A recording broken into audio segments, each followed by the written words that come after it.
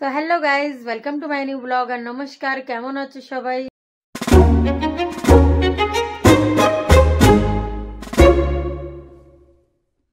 तो मैं हो गई हूँ रेडी और काम का प्रेशर आज बहुत ज़्यादा है देखिए कपड़े कितने सारे ढेर लगे हैं जो मुझे तय करने हैं आज और ब्लॉग स्टार्ट करने में थोड़ा सा लेट हो गया है क्योंकि काम कर रही थी मैं काम चारों तरफ़ फैला है तो थोड़ा सा काम करने में टाइम लगता ही है। सो मैंने अब नहा धो के रेडी हो गई हूँ और आ, क्योंकि सुबह से धूल मिट्टी का काम कर रही थी तो पहले बना लेते हैं खाना उसके बाद खाने में बन रहा है मिक्स दाल जो कि देखिए लोबिया राजमा और मटर अरड़ की दाल जो अभी तड़का लगने वाला है। चावल मेरे पक चुका है और मैंने बनाए हैं गोभी की भुजिया और सेम का चोखा। तो दोपहर का खाना पीना खा लिया है और बर्तन भी धुल गए हैं मेरे। सारे बर्तन धुल गए हैं। सो मेरे कस्टमर आ गया है। उसके करने हैं बालों में कलर जो कि मैंने उसके बालों में पहले कलर कर रखा था। अब वो क्या करवा रही है? ब्लैक करवा रही है। शादी में जा रही है। तो वो कस्टमर बैठी है। उसमें कलर लग रहा है। सो so, ये मेरे कस्टमर इन्होंने पहले अपने बालों में कलर करवाया था इस तरीके से। सो so, अब ये कह रही कि मुझे ब्लैक करना है। तो अपने घर की खेती है, जब मर्ज़ी कलर करवाओ, जब मर्ज़ी ब्लैक करवाओ। तो अच्छे लग रहे थे कलर, लेकिन इन्होंने कहा कि मुझे शादी में जाना है तो मुझे ब्लैक चाहिए। तो अभी कलर घुल रहा है इनके लिए। कलर को बहुत अच्छी तरह से घोला जाता है। जितने भी अच्छी तरह से कलर घोलोगे, उतने अच्छे से इसका रिज़ल्ट आता है। तो अच्छे से डेवलपर और कलर को मिलाया जाता है। कलर है स्टिक का ब्लैक। लगा रहे हैं उनके बालों पे कलर लगा रहे हैं। बाकी सूखने के बाद इनके बालों पे स्ट्रेट भी करना है। तो हमने इनके बालों पे भी ब्लैक कलर अप्लाई कर दिया है, जो कि हमें और पंद्रह मिनट रखना है। ब्लैक तो अभी से ही हो गया, कलर चलाते चढ़ाते, क्योंकि बहुत बालों की लेंथ काफ़ी लंबी है और ग्रोथ भी बहुत ज़्यादा है। सो चढ़ाते चढ़ाते देखिए ब्लैक हो चुकी है। ये देखिए आप देख सकते हैं। बस हमें 10 या 15 मिनट रखना है इनके बालों पे।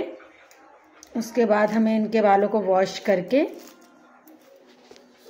वॉश करके सुखा के फिर हमें इन पे कलर चढ़ाना है डेवलप इन्होंने बोला है कि हमें थोड़ा सा ब्लाउंड देना है, हल्की सी लाइट तो बस वो देंगे और फिर फाइनल लुक देंगे। तो जब तक इनके बालों पे ब्लैक कलर चढ़ रहा है और उसके बाद हम वॉश करेंगे, तब तक हम सिल्वर फॉयल काट लेते हैं क्योंकि हमें फिर कलर चढ़ाने के लिए फॉयल की आवश्यकता पड़ेगी। तो लेयर में हम इनको काट लेते हैं ऐसे। काफ़ी लेयर चाहिए क्योंकि इनकी लेंथ बहुत ज़्यादा है। सो हम काम कर रहे थे और हस्बैंड जी चाय ले आए बना के। क्योंकि उन्होंने अपने लिए चाय बना लिया। हम काम कर रहे थे तो हम फ्री नहीं हुए। वो फ्री थे तो अभी इस टाइम उनके पेशेंट नहीं तो उन्होंने चाय बना लिया। कह रहे आप भी पी लो। तो हम चाय पी रहे हैं थोड़ी सी और हमारा कस्टमर अभी बैठा है क्योंकि उनको टाइम लगेगा। तब तक हम चाय ब्रेक ले लेते हैं। मस्त।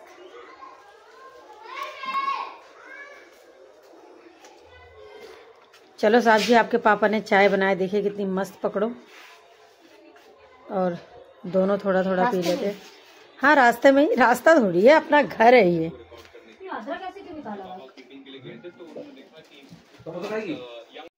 सो हमने इसके बालों को वॉश कर दिया है और ड्राई कर दिया है सूख गया है ये पूरा। अब इस पे हम कलर चढ़ाएँगे। जो ये गोल्डन कलर करवाना चाहती है। अगर आज हमारी फ्रेंड आई है, क्योंकि कल हमें जाना है पार्टी में किट्टी पार्टी में जाना है, इसलिए थोड़ा सा भाई डेकोरेट तो चाहिए ही चाहिए हम महिलाओं को। और हमें सजने संवरने का मौका मिल जाता है। थोड़ा सा सजने संवरने का मौका मिल जाता है, बस कोई बुला तो ले हमें गलती से एक बार। फिर देखो हमारा। सो so, हमारी फ्रेंड का कल एनिवर्सरी है तो उस हमें जाना है सबको। और साथ में हमारी किट्टी भी है तो आपको पता ही किट्टी में हम लोग कितना एंजॉय करते हैं सारी फ्रेंडें मिलते हैं। तो कल होगा धमाल है ना? हम्म कल धमाका होगा भाई मैडम के घर में हमारे आज। आज सब और हमारा भी कुछ कर दो फेस पे।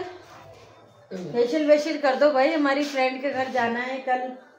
थोड़ा चमक के जाएँगे है ना? तुम ऐसे चमक ही रखा। तुम्हें चमकने की ज़रूरत नहीं तुम चमका चमका ही हो। नहीं मेरा नाम भी स्टार है ना इसीलिए मैं चमकती रहती हूँ हमेशा। है ना नाम का भी असर पड़ता है थोड़ा बहुत। होना चाहिए ऐसा नाम रखो कि ऑलरेडी इंसान चमकता रहे। तारा। हम्म।